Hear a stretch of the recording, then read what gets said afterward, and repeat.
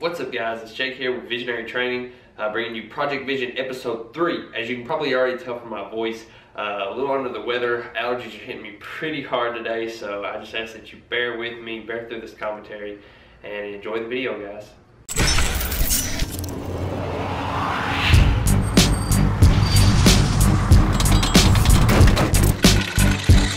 I'm gonna show you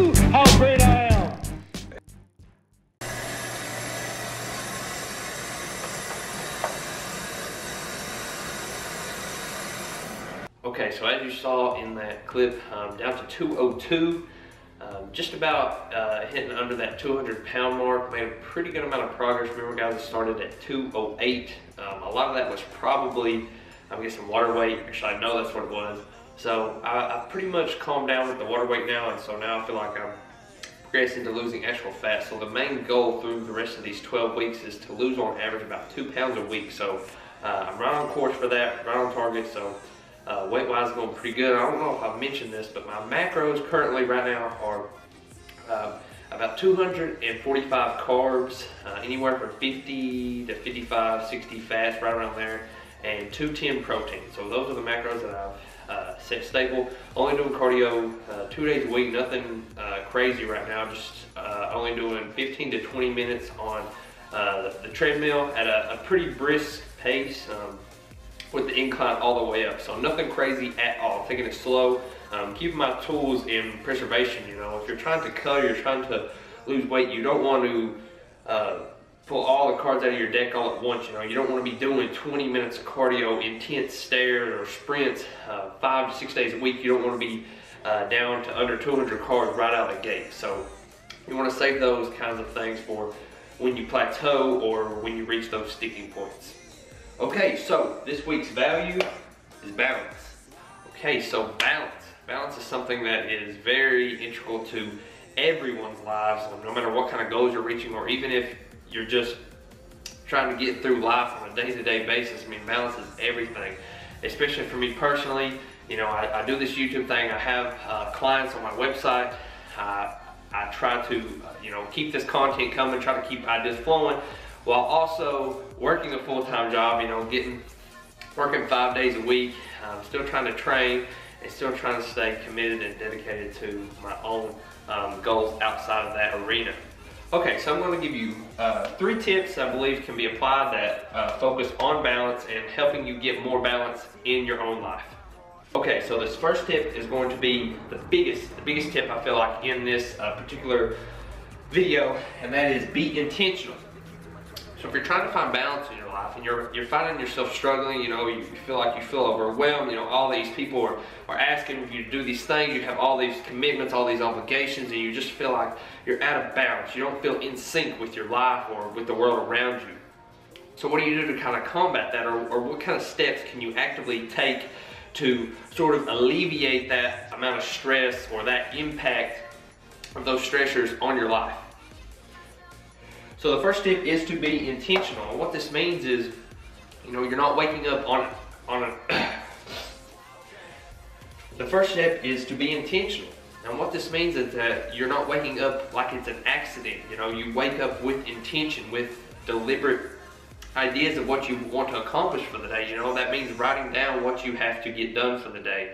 That doesn't mean just waking up and letting situations happen to you, letting outside interference and obstacles just come and dictate kind of what happens. You know, life doesn't happen to you. You should happen to life, if that makes sense. You know, you shouldn't just be here letting the wind push you around or blow you around or letting outside forces dictate what happens to you on a day-to-day basis. You should have a clear intention of your mind of, okay, today I'm going to dictate or allow this amount of time to this goal. Okay, the next day I'm going to be taking these steps. And you sort of ration out your time and you're able to establish set schedules of what you need to get done on a day-to-day basis. And when you do that, you help organize your life. When you have some sort of organization in your life and you know what is supposed to be done on a day-to-day basis, on a week-to-week basis, that is how your goals come together. That is how you find balance in life because you've said, okay, today this is going to be taken care of. You know, you're not going to forget it down the road or, or wait until some, some situation blows up or to where you don't have control over it anymore. So the very first and most important tip I can give you is to be intentional.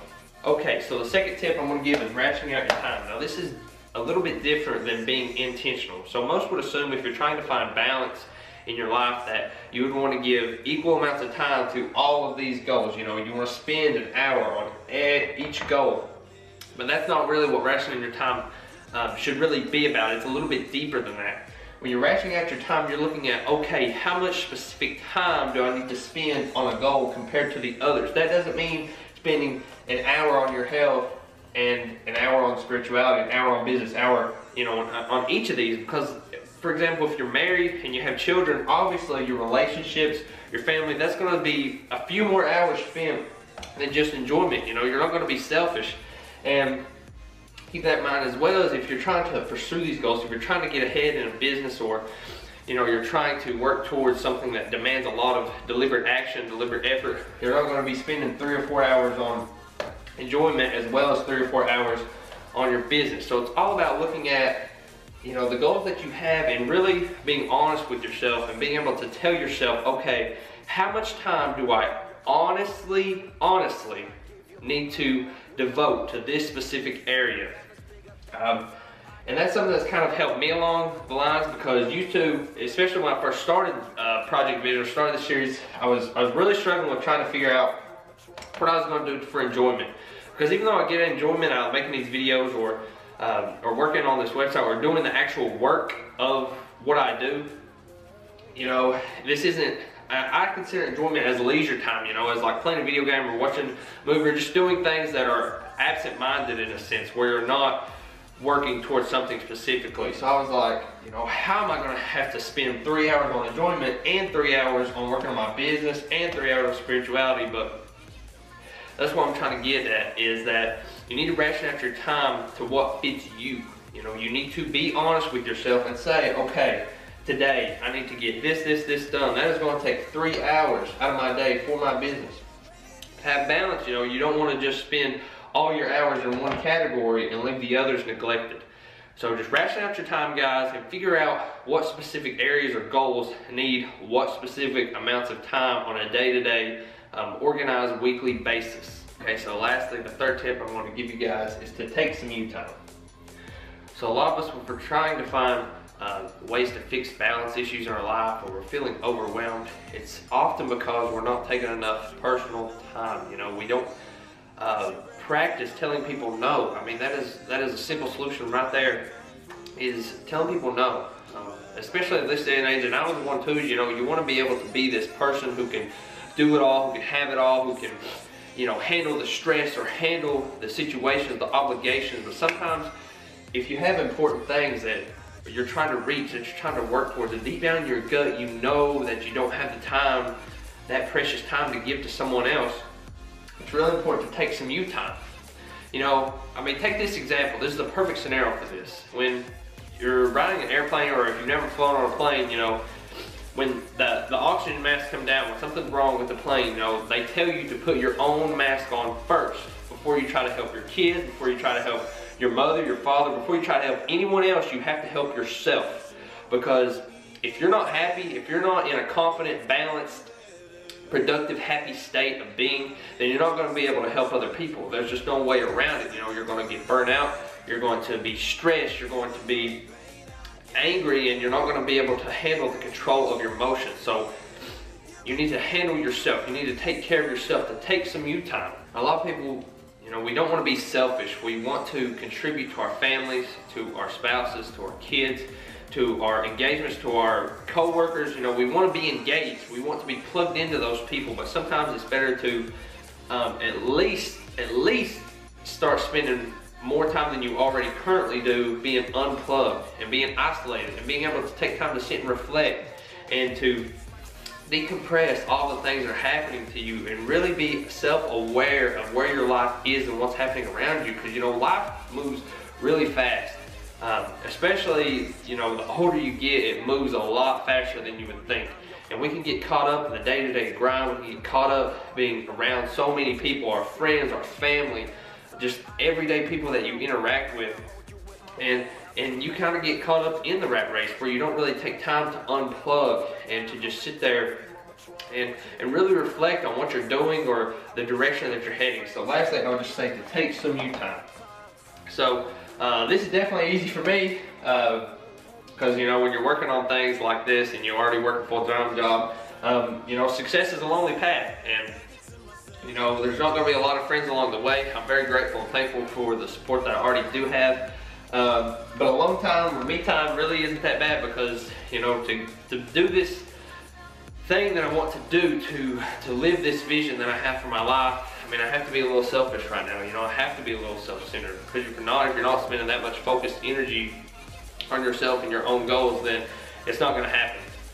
Uh, rationing out my time, uh, that's something that I've definitely progressed with more these last, uh, this last week after I've been focusing and thinking about what I was going to make this video on balance about, of really looking at, you know, the five goals and saying, that I don't have to spend three hours on every single one. Balance isn't about having equal parts, but it's having, uh, you know, either three hours here, two hours here, an hour here, to where they all end up working together cohesively as a, you know, a coherent unit.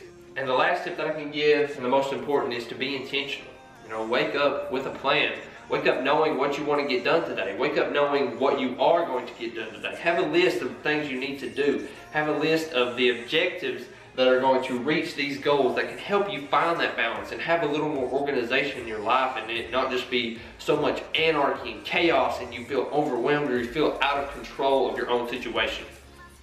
All right, guys, so those are the three tips for balance. I hope you enjoyed Project Vision episode three. There's gonna be more coming in the weeks to come. I'm pumped up. I'm excited to make these videos. I hope you guys like them. If you did, please just give it a thumbs up. It really helps out the channel, helps out me. That's the best way you can support me. You can also check out uh, the Visionary Training Facebook page, my Instagram, uh, the social media links, all that is in the description box as always. You can just click down below and see that. Uh, the website's there as well. Um, discount codes for supplements, all that good stuff is all down below. So be sure to check that out. Uh, so that's all I got for you guys. More videos coming soon. Got more content planned and filmed ready for you guys. So uh, let's get it. Let's make this last third quarter this uh, year. Let's get as much done as we can and accomplish as much as we can before the fourth quarter, before the end of the year comes. Um, there's still room for growth this year, guys. If you've not got started on your goal, don't wait for New Year's. You know, don't wait for the perfect timing. There is no perfect timing. You got to get started and you got to make it happen. All right, that's gonna be it for real this time, guys. Get excited, and until next time, let's keep positive. Oh yeah! God bless. Okay, here we go guys, week three, posing.